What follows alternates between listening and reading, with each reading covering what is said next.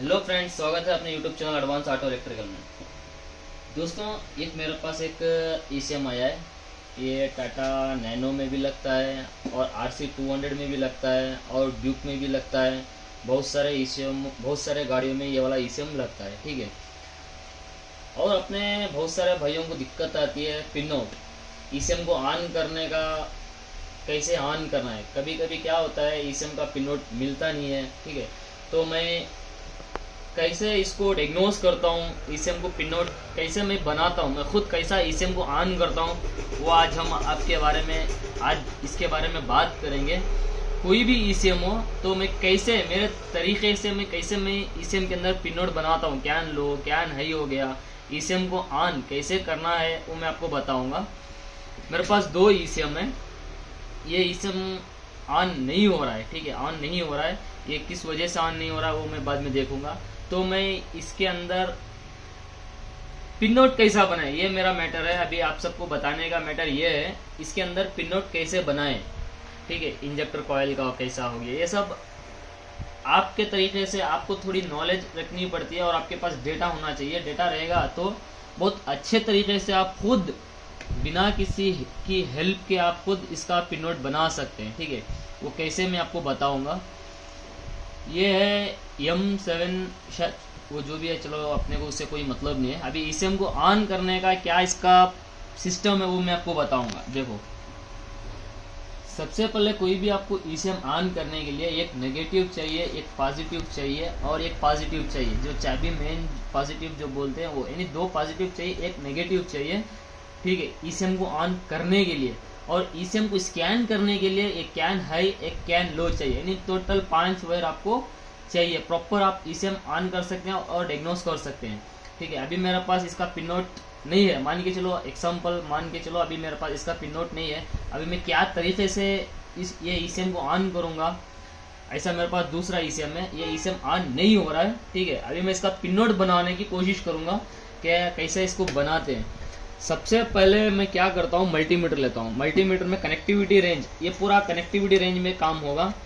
देखो, अभी मैं मल्टीमीटर लिया हूँ। कनेक्टिविटी की रेंज पे रखा हूँ। देख सकते हैं कनेक्टिविटी की रेंज पे रखा हूँ। सबसे पहले मैं क्या लूँगा? पॉजिटिव नेगेटिव दो पॉजिटिव एक नेगेटिव इसको फाइंड आउट करूँगा किधर है मेरा। ठीक है, ये मेरा नेगेटिव हो गया। ये जो मेरा ईसम की जो साइड की जो कॉर्नर आती है, ये नेगेटिव हो गया। आपको इधर से इधर से और ई के अंदर आपको अर्थिंग नहीं मिल रही है ग्राउंडिंग नहीं मिल रही है तो जो आईसी होती है पावर आईसी या सिस्टम आईसी सिस्टम आईसी के सेंटर में भी रख के आप अर्थिंग को यानी ग्राउंड को फाइंड आउट कर सकते हैं, कौन सा आपका पॉइंट ग्राउंड का रहता है, ठीक है? अभी मैं चेक अभी मेरे को इतना मालूम है बोर्ड के अंदर ये बारह वोल्ट का कैपेसिटर है, ठीक है? अभी मैं क्या करूँगा, सबसे पहले ग्राउंड को फाइंड आउट करूँगा। ये जो मेरा रहता है, ये सेट जो कैपेसिटर है कैपेसिटर के बाजू में जो लकीर है ब्लैक कलर का, ये रहता है मेरा नेगेटिव ये रहता है मेरा पॉजिटिव ठीक है? इधर अभी मैं ग्राउंड को लेता हूँ, ठीक है? यानी मुझे ग्राउंड का वायर मिल गई है। अभी ये पिन में कौन सी पिन है ग्राउंड की, वो फाइंड आउट करूँगा।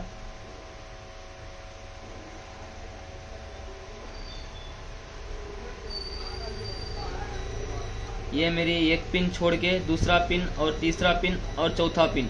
यानी ये तीनों मेरे ग्राउंड है, ठीक है? अभी मैं क्या करूँगा?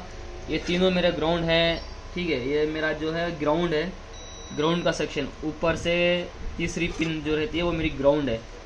ठीक है, इधर मैं चेक कर लेता हूँ ग्राउंड किस पॉइंट का आ रही है। हाँ यानी मेरी एक, दो, तीन। तीन में पहली वह पिन छोड़ के दूसरी पिन जो रहती है, वो मेरी ग्राउंड आ रही है। तो अभी मैं क्या करूँगा? ये ग्राउंड की वायर लूँगा।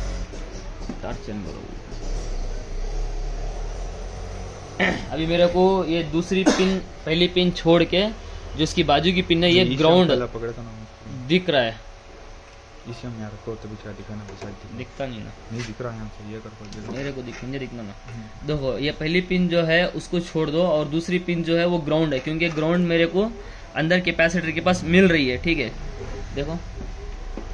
अंदर मेरे कैपेसिटर का जो नेगेटिव पॉइंट है, इस जगह पे मुझे ग्राउंड मिल रही है, यानी नेगेटिव मिल रहा है। तो अभी मैं क्या करूँगा? नेगेटिव एक नेगेटिव की वायर ले लेता हूँ। थोड़ा वीडियो बहुत लंबा होने वाला है। आप देखेंगे तो बहुत कुछ इसके अंदर सीखने को मिलेगा। कैसे आप खुद इसका पिन नोड बना सकते हैं। ठीक है, यानी मेरा जो ये ग्राउंड कैन बॉक्स का अपना ग्राउंड की वह रही है दो नंबर का जो ग्राउंड है, वो मेरे को अभी फाइंड आउट हो चुका है। ग्राउंड अभी मैं इसमें लगा दिया हूँ। अभी मेरे को चाहिए पॉजिटिव इधर देखो।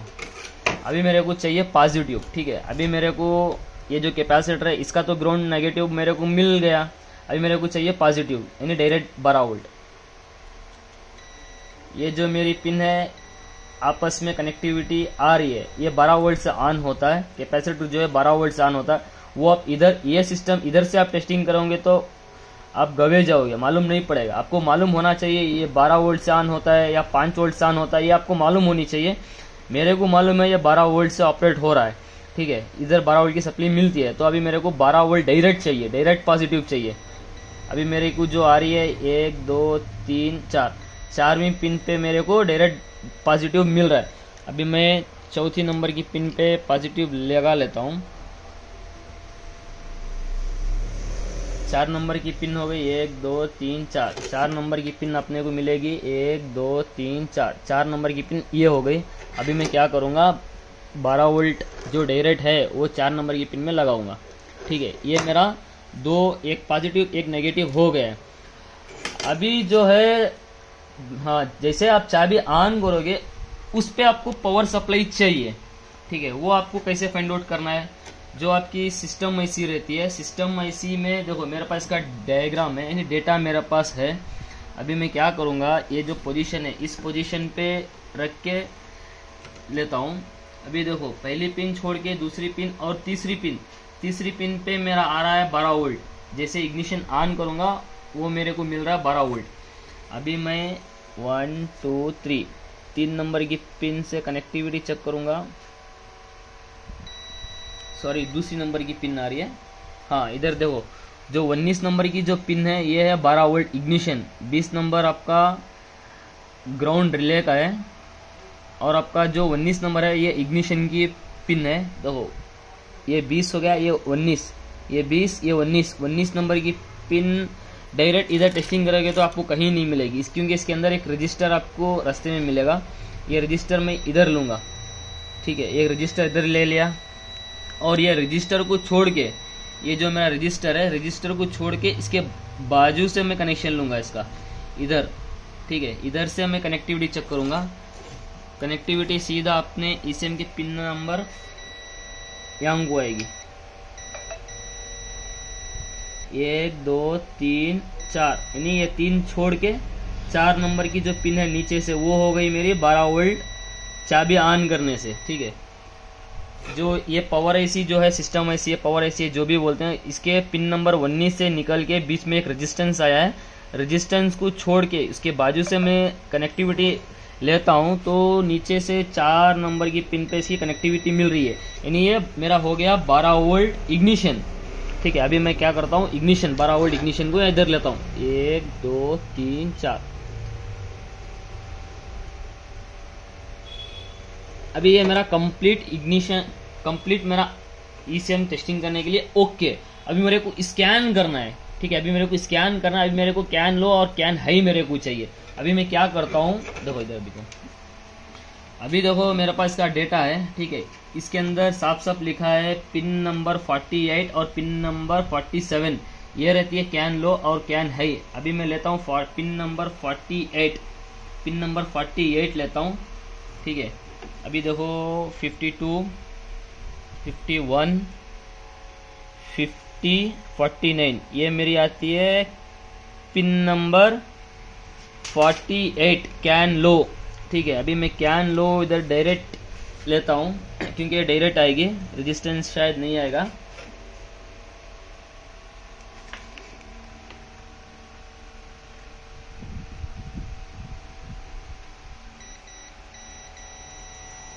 इस जगह पे मुझे मिल रहा है। देखो इधर।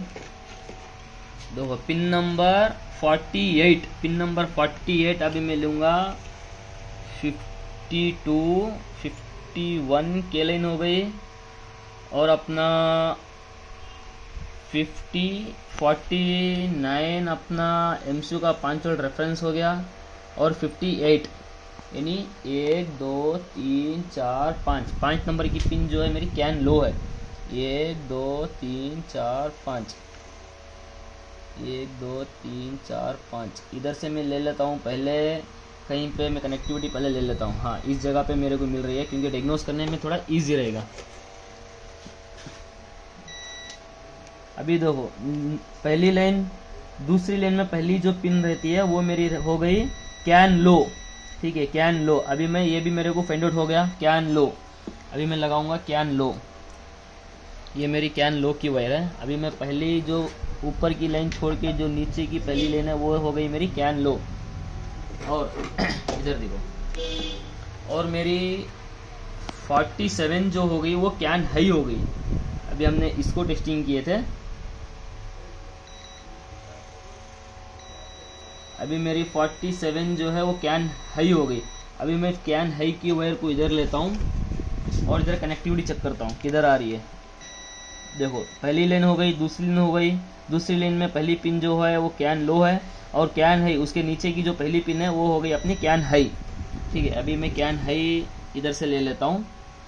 पिन नंबर पहली लाइन छोड़ दिए, दूसरी लाइन में कैन लो और कैन हाई अपनी हो गई पहली पिन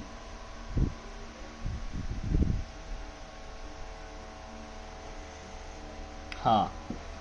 ये मेरा कंप्लीट डायग्नोस करने का तरीका, ये मेरा सिस्टम है। उठो। ये मेरा कंप्लीट टेस्टिंग करने का, ये मेरा सिस्टम है। और बाई मिस्टेक आपको जीपीटी चाहिए जीपीटी वन चाहिए जीपीटी ज़ीरो चाहिए, वो भी आप डायग्नोस कर सकते हैं। मगर अभी फ़िलहाल आपको मैं ईसीएम को ऑन करने का तरीका बता रहा हूँ।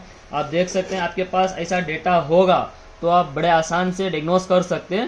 हालाँकि मुझे दिमाग में ही है four double zero four eight four nine की जो आईसी रहती है, उसके अंदर से कितने नंबर पे पॉजिटिव निकलेगा, कितने नंबर पे नेगेटिव निकलेगा नेगेटिव मेन रिले के लिए, और जो कॉयल इग्निशन जो कॉयल होते हैं, उसके कौन सी पिन है, वो सब मेरे को ऐसा ही दिमाग में रहते हैं।